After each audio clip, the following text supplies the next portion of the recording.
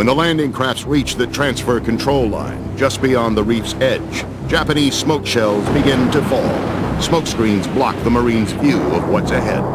Before we landed, you had this horrendous bombardment before the first wave hit.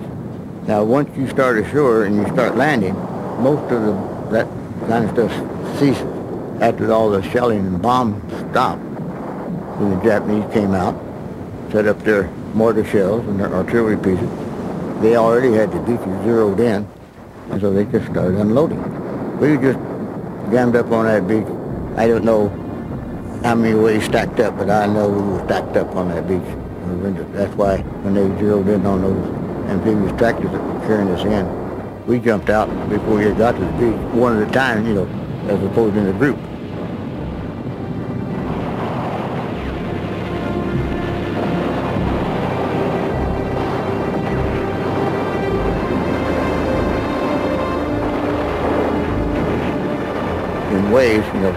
First wave, now you've got X minutes to move up where some planets that you're supposed to be.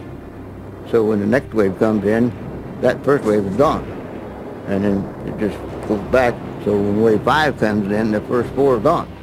Well, that looks good on paper, but it doesn't always work that way. And it didn't there either. The assault waves press on, but the landing does not go as well as the generals planned. The Marines are pinned down by a deadly crossfire, and there's no cover at all, except behind a dead Marine. We just piled up on the beach, and they were lobbing those shells into our landing craft. And when you've got a whole bunch of troops on the beach, you're just sitting ducks. Lost a lot of people. Apparently it was hellhole, hot. It was a dinky place. I don't think it was more than three by two. They had the high ground, and so there was no point in them charging us on low ground. We had to get them. Besides that, they had such good cover. I mean, it was just dirt scratching to get, get them out of that place. From his hidden vantage point on the high ground, Colonel Nakagawa radios General Inouye. Reinforcements unnecessary. Invasion will be crushed by end of day.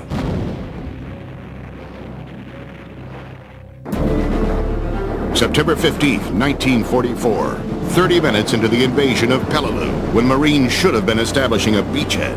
Wave after wave of assault troops are hopelessly pinned down. When the Marines attempted to land at Peleliu, they were greeted by a hail of shells filled with smoke to create a smoke screen, which caused a lot of confusion, slowed them down, made them more vulnerable as targets for Japanese artillery that was focused on the landing site. It takes four hours of raging battle for the Marines to advance only 50 yards. Admiral Nimitz's operation has prophetically lived up to its name, stalemate.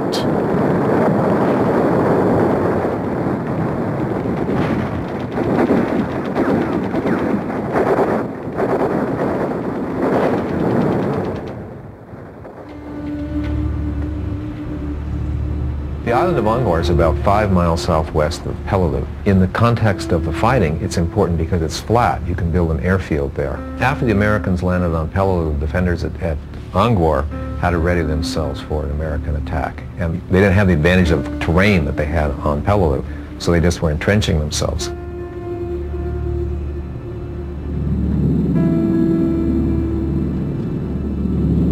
Flight of about 50 American aircraft came over and they were struck just about sunset time, which had a devastating effect on their morale. And some of them took this as an omen of things to come in the future.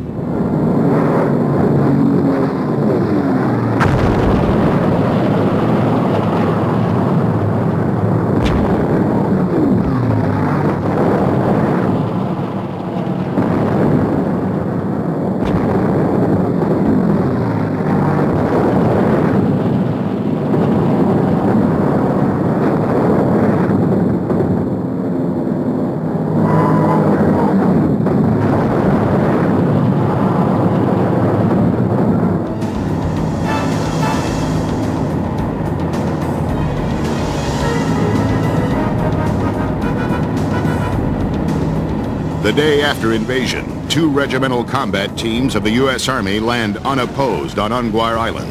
What they don't know is on the northwest end of the island, 1,600 Japanese soldiers are ready to follow orders and fight to the death, even though they are hopelessly outnumbered.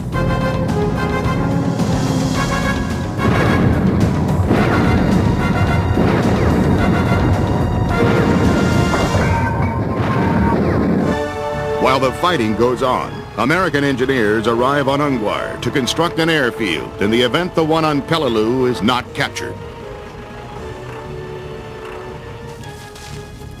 On Peleliu, Colonel Nakagawa prepares to launch his counterattack to crush the invasion once and for all.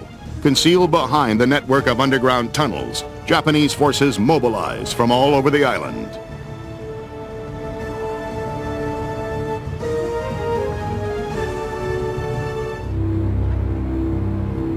It isn't that you aren't scared, but you're not scared 24 hours, you know, degrees of being scared. You're in a dangerous situation. And yeah, there's that possibility you're going to not make it. But I don't really think too many people dwell on it because it's not good for the soul. It's a job, and, and you do it, and what happens, happens. See, what made this so bad, it was hotter than Hades. 110, 115, 120, it was just blistering hot. We had as many casualties from heat exhaustion as we did gunshot, and maybe even more. We were supposed to have the airfield within an hour after we landed, but it wasn't the opposition on the ground. It was how they had it zoned in from those caves in that mountain that was uh, down the middle. So you had to sort of get rid of some of that.